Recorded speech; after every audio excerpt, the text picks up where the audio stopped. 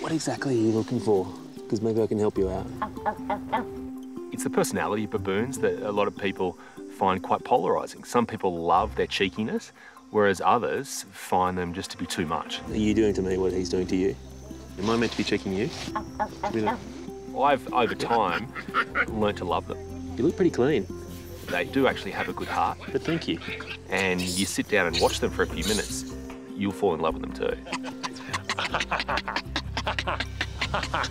Yeah.